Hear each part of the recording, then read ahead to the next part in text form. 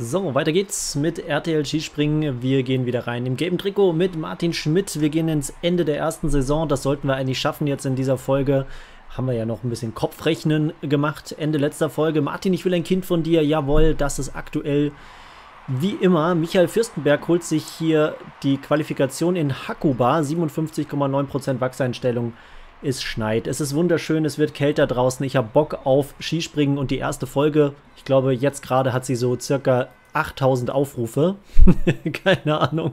Es ist immer das erfolgreichste Format auf dem Channel. Einfach ein Skisprungspiel von Anno dazu mal, wie man immer so schön sagt. Ja gut, das war jetzt nicht perfekt. Ich glaube, da sind wir ein bisschen sehr, sehr früh in das Landemanöver reingegangen. Gute Haltungsnoten, 79,2 Punkte, aber wie gesagt, die Faszination für dieses Spiel, ich merke es ja bei mir selber immer, dass ich es total gerne selber spiele, jeden Winter. So, jetzt schauen wir mal, was die Konkurrenz hier macht. Ich glaube, das war nicht der allerbeste Sprung, den wir hier jemals hingelegt haben. Boah, reicht aber dann trotzdem für die komfortable Führung. Martin Schmidt, das Einzige, was wir machen, wir werden auch gleich mal im Shop schauen, dass wir uns einen neuen Helm kaufen, und zwar einen lila Helm. Ist mir scheißegal, was für eine Aerodynamik der hat, aber ich möchte hier einen lila Helm haben, damit wir der lila Launebär werden.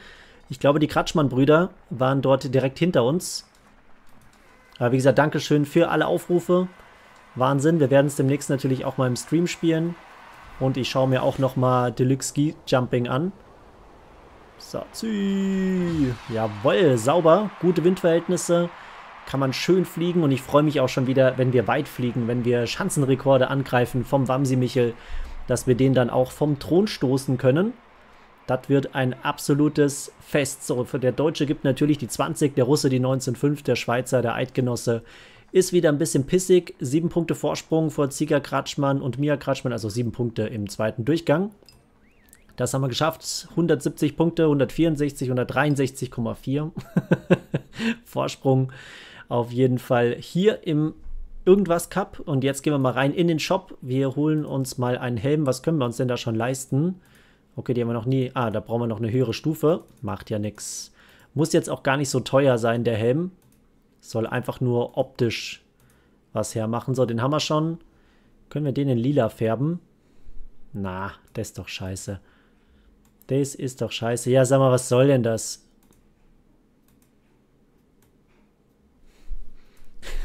Was ist denn das für eine Scheiße? So, komm, der sieht aus, als könnte man die lila färben. Wenigstens so ein bisschen. 8000 kostet der. Gibt es noch was Besseres?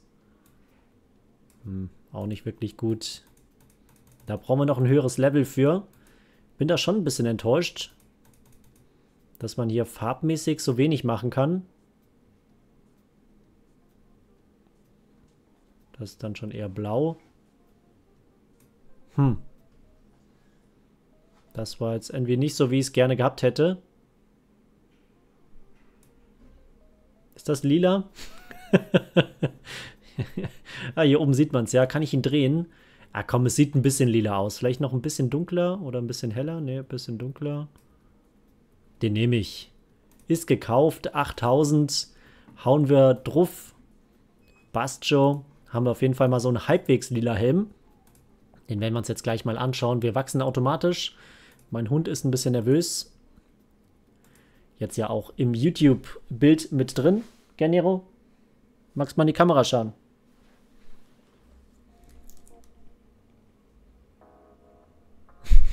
ich glaube, er möchte gerne raus. Aber ich bin ja heute Morgen schon mit ihm gegangen. Machen wir dann später noch eine kleine Runde, gell? Bist bereit? So, jetzt, jetzt wird aber erst nochmal hier im Training ein bisschen was gemacht. Muss noch arbeiten. das ist meine Arbeit. YouTube. Nein, das ist das Hobby, was irgendwann dann größer geworden ist, als ich es jemals vermutet hätte. Müssen wir irgendwo landen, irgendwo in einem bestimmten Bereich. Na, ist das Turin die Schanze? Ich glaube ja, oder? Das ist die, wo man das erste Mal, wenn man Aufwind hat, ein bisschen weiter springen könnte. Genau die kleine Schanze. 86 Meter sind's. Und Nero ist da auf jeden Fall wieder ordentlich am Quietschen. Jetzt ist die Webcam ein bisschen komisch verstellt gewesen gerade. Jetzt schauen wir mal, dass das nicht kriselt. So, wir machen immer nur Training und zwar für eine einzige Sache. Deswegen nehmen wir jetzt mal die Sprungkraft. Dürfen wir nicht, weil da irgendwo wieder drei Punkte drin hängen. Ja, das ist auf jeden Fall effektiver, wenn man es so macht. Danke für den Tipp. Das steht jedes Jahr in den Kommentaren und über den Sommer verdrängt mein Hirn das einfach. Ist aber auch in Ordnung. man darf Sachen auch verdrängen. So, Matthias Mateka. Also mit dem Wamsi Michel haben wir hier auch keinen Schanzenrekord geschafft. Schauen wir mal. Ich würde es im Probedurchgang gerade mal probieren aus Luke 4. Luke Skywalker, die Landung, Calrissian, was es hier nicht schon alles Star Wars-mäßig gab.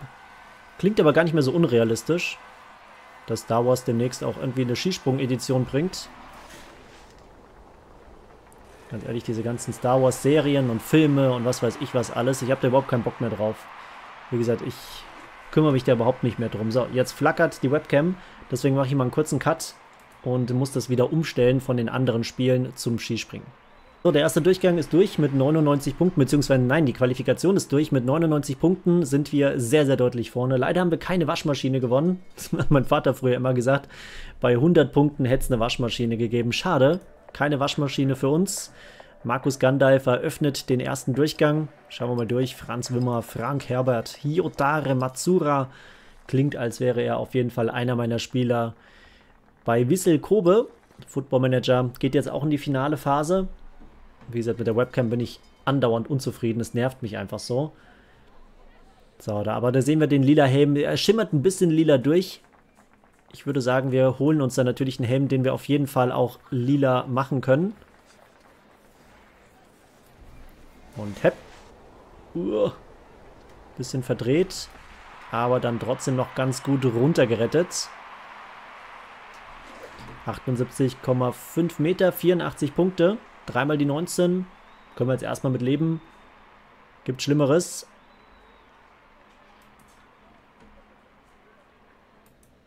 Und dann sind wir auf jeden Fall erstmal vorne. Aber irgendwie hat mein Hund gerade was. Ich muss mal nach ihm schauen. Ich glaube, irgendwie ist er nervös. Da sind wir wieder. Nach der Gassi-Runde ist alles wieder gut. Alles wieder gut. Jawohl, auch Martin Schmidt ist gut drupp. Mit seinem lila Milka-Helm. ist ein bisschen ausgeblichen über die Jahre. Hat er halt in der Sonne liegen lassen. Passiert dem Besten. So, hupsi. Da sind wir spontan einfach mal losgefahren. Aber ich glaube, wir kommen hier leider nicht ganz so weit. Boah, das war knapp. Vor allem, weil meine Maus sich auch noch gerade verhakt hat. Also hier ist richtig der Wurm drin. Nicht nur mit der Webcam ist der Wurm drin, sondern generell ist der Wurm drin. Meine Webcam ging, äh, meine Webcam, meine Maus ging gerade da nicht mehr weiter raus. Creepy. Also 92,5 Punkte. Das ist wieder mal der Sieg für Martin Schmidt. Pleiten, Pech und Pannen hier in der Folge auf jeden Fall.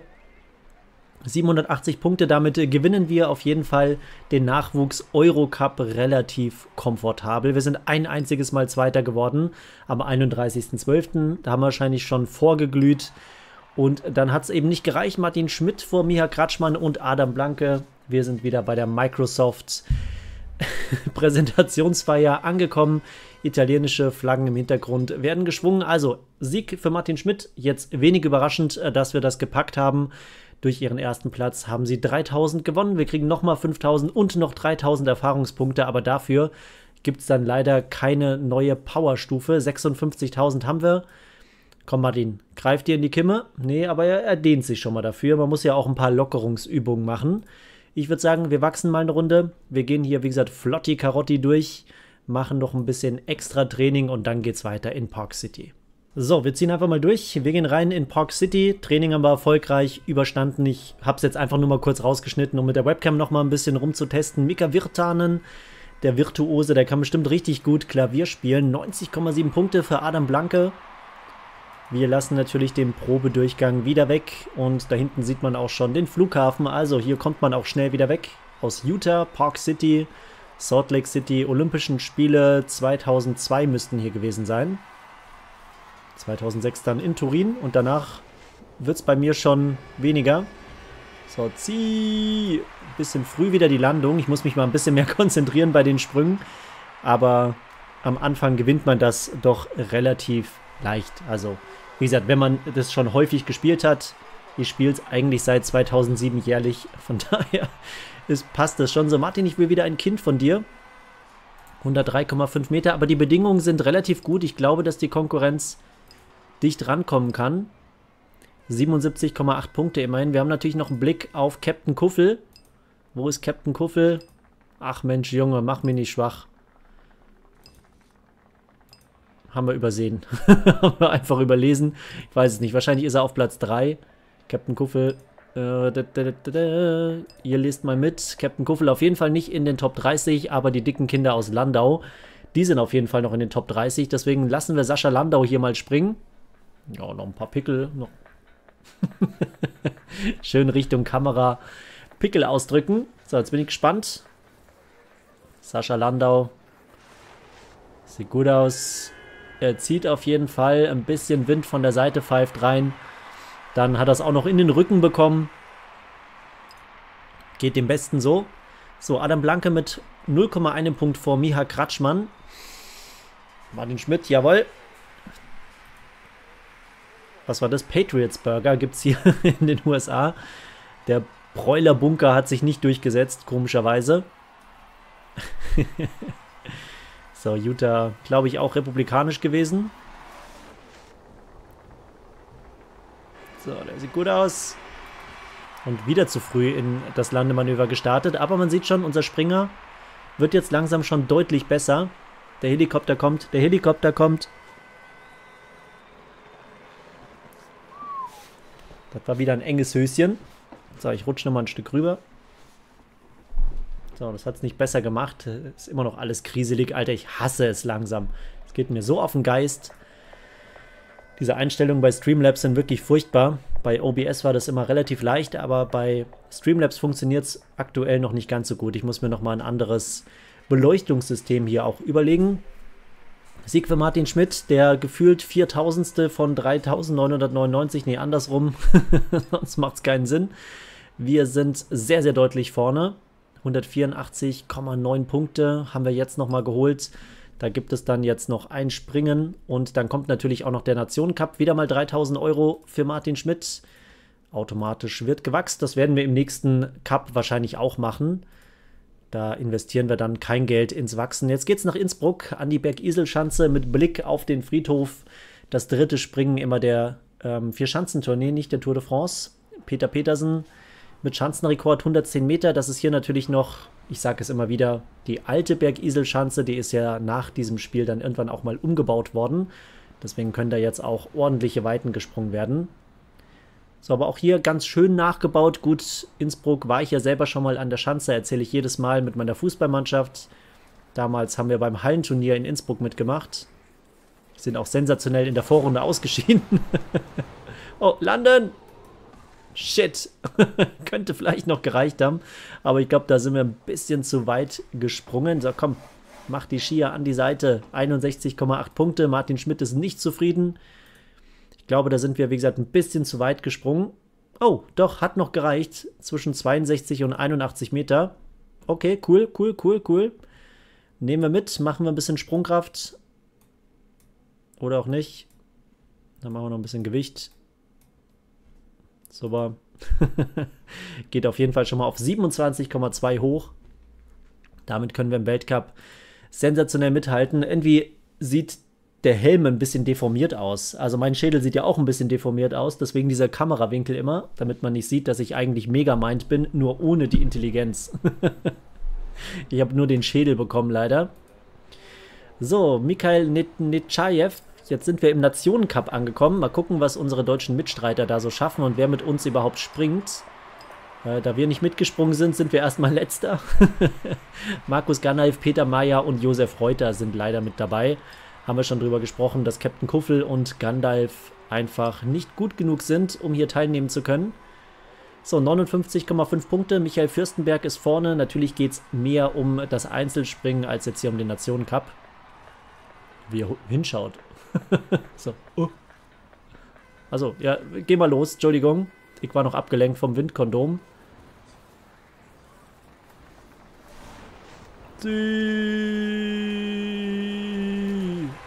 Sauber. Bei Seitenwind gar nicht mal so leicht. 89,5 Punkte, äh, Meter, 81,1 Punkte. Damit liegen wir deutlich, deutlich vorne. Sehr, sehr stark, was der Martin hier macht. Start des Landemanövers. Wie gesagt, absolute Katastrophe. Und dadurch, dass der Martin Schmidt hier so stark ist, sind wir erstmal mit 40 Punkten Vorsprung vorne. Nicer Dicer. So, 124,8. Jetzt können wir mal schauen. Vielleicht erwischen wir hier ein bisschen Aufwind. Der ist sehr, sehr böig. Hinten auch ein katalanischer Ballon. Haben wir im Stream auch einmal kurz so ein Spiel auf Katalanisch gespielt. So. Uh, der sieht gut aus. Da kommt auch ordentlich Wind von unten. Nee, jetzt kommt er von hinten. Boah. Deswegen fand ich das Spiel immer ganz nice, dass sich die Windverhältnisse einfach nochmal ein bisschen drehen. Das fand ich echt immer stark. Alter, die Webcam sieht aus, als würde ich richtig stinken. Geht es auch, geht es auch hier raus? nee, nur meine Glatze stinkt. ja, wie gesagt, am Setup wird noch gearbeitet. Wir holen uns den Sieg mit 63 Punkten Vorsprung und ich glaube auch im Einzelspringen sollten wir deutlich vorne gelegen haben. 3000 Euro auf die Kralle und Martin Schmidt kriegt wieder 14 Punkte. Wie gesagt, Anlauftechnik ist mir eigentlich gar nicht so wichtig. Machen wir noch ein bisschen Landetechnik. Und ja, das ist mir völlig egal. Vielleicht kann ich nächstes Mal bei der Tamara noch ein bisschen mehr rausholen. Ne? Nicht nur 200 Euro, sondern 250 und 47 Cent. Die Tamara, die hat es ja. Auch monetär. Wahrscheinlich. So, es geht nach Lillehammer. Das ist auch der norwegische Name für Tamara.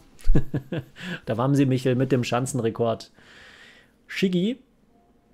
So, ah, das sieht doch schon besser aus. Ja, hier ist schön ruhig. Na, doch, der Wind ballert schon. Uiuiuiui, und zwar ordentlich von der Seite. Unten ohne Bäume sah es gar nicht so windig aus. So, Martin, komm. Ich habe vergessen, was wir machen sollen, aber das wird schon gut.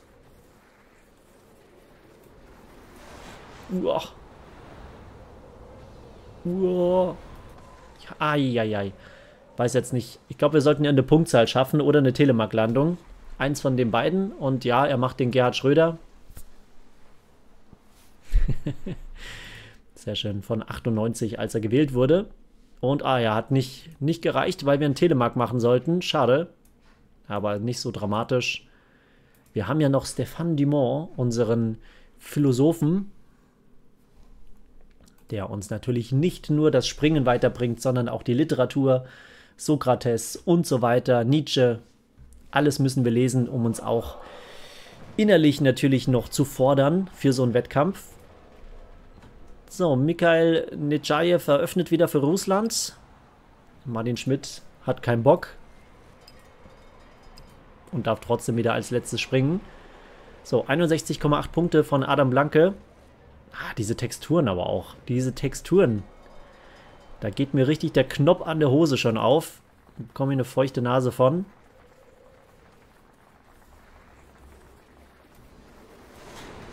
Boah. Alter Schwede, wie gesagt, wenn die Kamera so weit drüber geht und die Skier hin und her schlagen, das ist wirklich schwer. Das finde ich dann gerade beim Skifliegen oder sowas extrem kompliziert. 75,7, der innere Gerhard Schröder. Kaum liest er Sokrates und was weiß ich was, alte weiße Männer. Schon kommt Gerhard Schröder aus ihm raus. sehr, sehr gut. Martin Schmidt bringt auf jeden Fall Deutschland wieder in Front. 19 Punkte der Vorsprung. Da waren wir doch deutlich besser wieder als die Konkurrenz. Wer ist denn hier sonst so dabei? Ziga Kratschmann für Slowenien. Schauen wir mal unseren Teamkollegen an, was Josef Reuter da so macht. Hat, glaube ich, mal beim BVB gespielt. Zusammen mit Schappi. Oh, oh, ja, ja, ja, ja, ja. Da verliert er aber ordentlich mal den Ski. Stefan Reuter inzwischen in Augsburg. Oder ist er noch in Augsburg? Oh Gott, ich kriege das schon alles gar nicht mehr so mit. Ich gucke so wenig Fußball, weil ich habe keinen The Zone mehr, ich habe keinen Sky mehr. Schalke spielt, glaube ich, auch seit vier Jahren kein Fußball mehr. Zumindest ist die Sportart nur schwer zu erkennen. So, 54 Punkte für Josef Reuter. Damit sollte er uns doch ganz gut vertreten haben. Zweiter Platz, das ist stark. Und jetzt können wir das Ganze vollenden. Erstmal noch schön gekratscht. Ge Gezieger Kratschmand wird da wieder. Nee, genau. Also wie gesagt, ich schaue einfach nur ganz, ganz wenig Fußball noch. Äh, auf Prime das Champions League-Spiel schaue ich häufig. Länderspiele schaue ich gar nicht mehr, außer vielleicht EM, WM. Aber ansonsten reichen mir tatsächlich die Ergebnisse.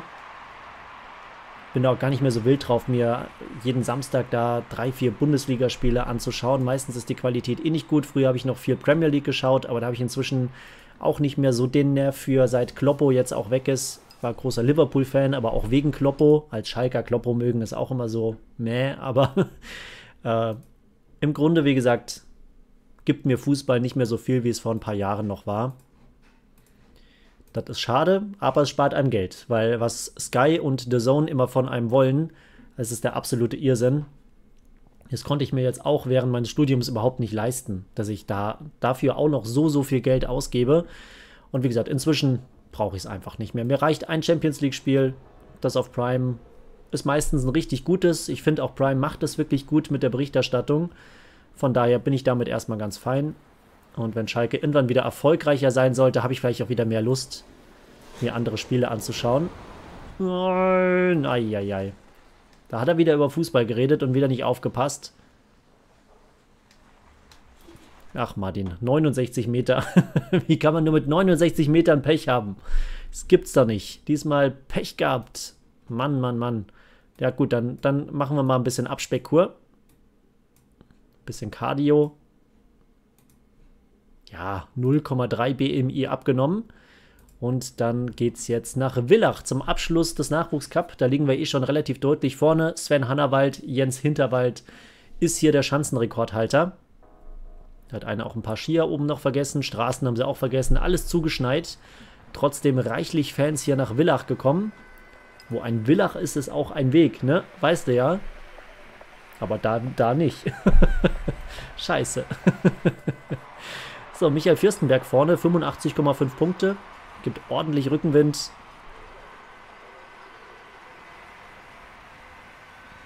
So, der Lift ist auch stillgelegt. Der Helikopterfahrer, uiuiui, Medikopter 117 ballert wieder. Oh, das aber eigentlich eine ganz geile Chance. Aber leider Rückenwind. Leider relativ viel Rückenwind. 75 Meter, 30 weiten Punkte, 89 Punkte insgesamt, gute Haltungsnoten.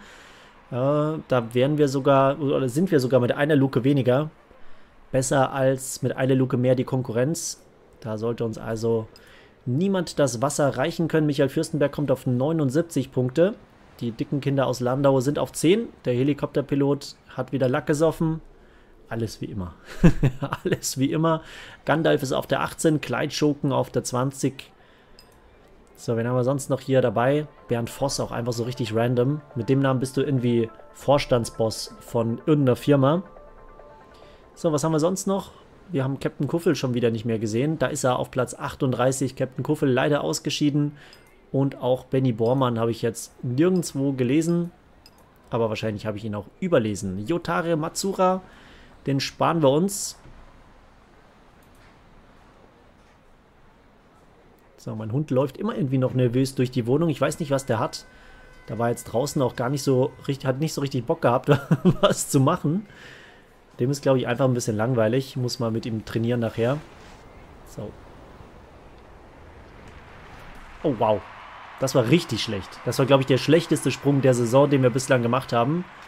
76,5, Haltungsnoten schlecht, nur 87,5 Punkte. Da bin ich mal gespannt, ob das jetzt nicht vielleicht sogar noch eng wird. Äh, jo, drei Punkte, nur noch der Vorsprung. Da haben wir es fast noch verschissen. Mit 87,5 Punkten waren wir im zweiten Durchgang auch, ja, vielleicht gerade noch Top 10.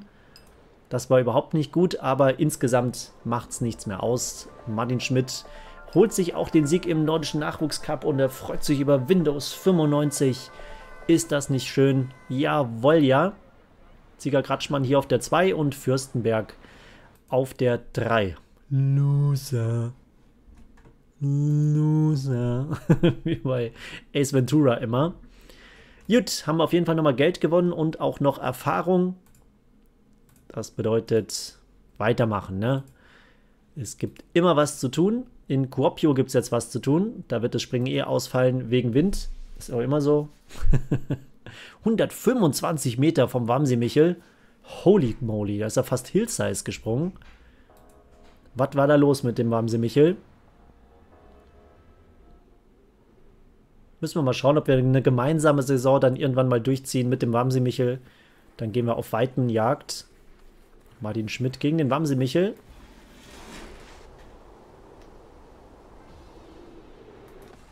Okay, ja, das war diesmal ganz gut. War halt auch von der Weite her passabel. Weil manchmal hat man das Gefühl, so kurz kann man gar nicht springen, wie der Trainer das möchte. So, müsste passen.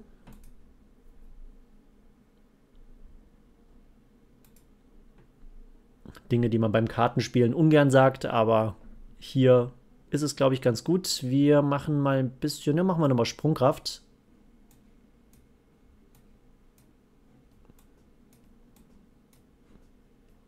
So, nice. 28,6 quasi aus dem Stand haben wir da die Sprungkraft trainiert. Also 125 Meter werden wir nicht schaffen. Aber es sind auch nur noch zwei Springen jetzt in der ersten Saison. Dann haben wir nur drei Folgen gebraucht für die erste Saison. Finde ich eigentlich ganz knackig und schnell. War eigentlich auch nur zum Warmwerden, dass ich wieder ein bisschen reinfinde ins Spiel. ein bisschen Quatsch kommentieren. Man kann hier auch immer schön über andere Dinge noch reden. Wie gesagt, wie über Fußball. Aber sage ich ja schon häufiger, dass ich wenig Fußball schaue.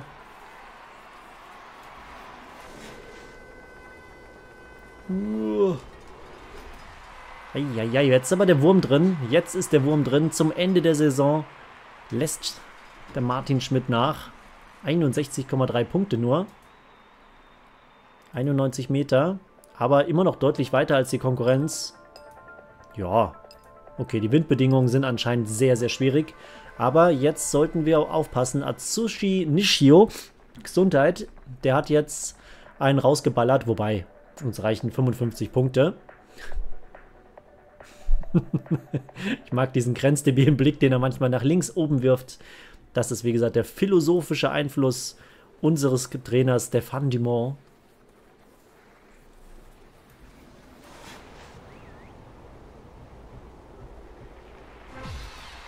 Ach, das gibt's doch gar nicht.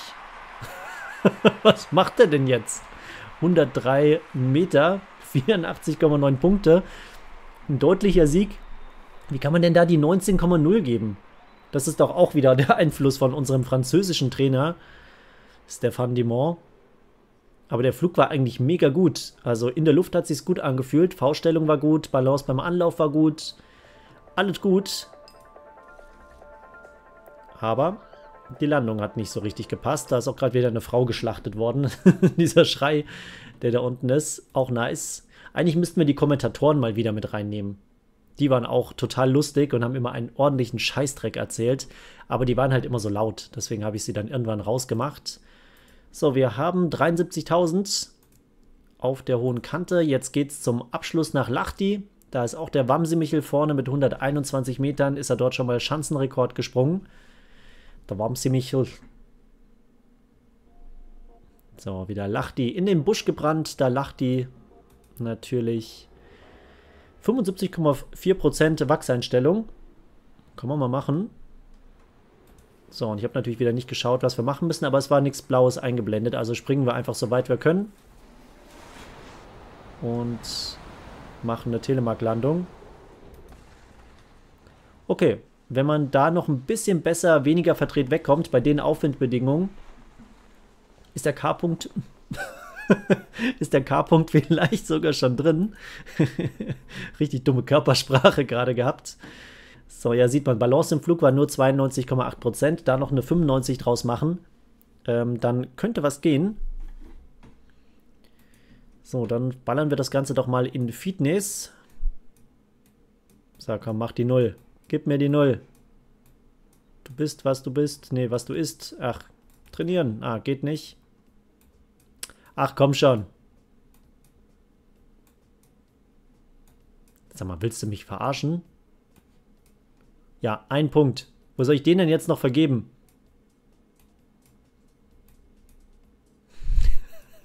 Leck mich doch am Zuckerli. ich will es nicht mit der Tastatur machen. Komm schon. Geh auf Null. Null. Ja. War ja ganz einfach. Easy.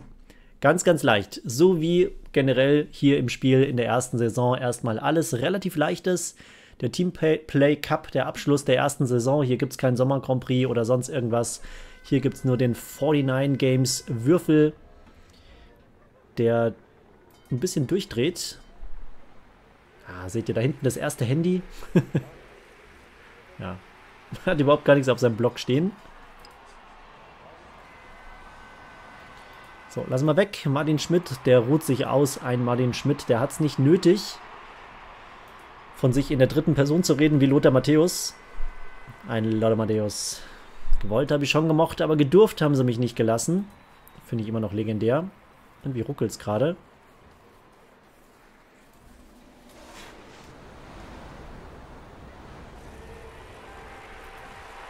Ruckelt es die ganze Zeit, oder? Uah! Gerade rüber geschaut. Irgendwie ruckelt es relativ viel. Ich hoffe, das war jetzt nicht die ganze Zeit so. Das wäre unschön. Hm. Gut, das kriegen wir jetzt noch zu Ende. Also irgendwie ein paar... Wahrscheinlich ist das Spiel überfordert einfach meinen Rechner. 93,6 Punkte, alter Schwede. Die Konkurrenz ist dermaßen schlecht. Aber was ist da los? Warum ruckelt das so? Ich hoffe mal, wie gesagt, in der Aufnahme ist es nicht so. Ansonsten ist die unbrauchbar. Und dann sind all meine tollen Sprüche natürlich wieder for the cat. So, das bringen wir jetzt mal schnell zu Ende.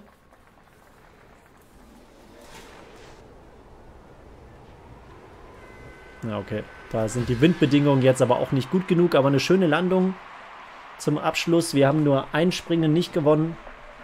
Ansonsten haben wir alle durchgezogen, 101,9 Punkte. Das wird der Sieg für Deutschland sein. Gold für Deutschland, 93,6, 101,9. Dafür, dass wir ohne Punkte quasi gestartet sind, sind wir hier wie das Messer durch die Butter durch. Markus Gandalf gewinnt den Teamplay Cup. Na klar, er, er, hat, er hat das Team getragen, habe ich auch das Gefühl.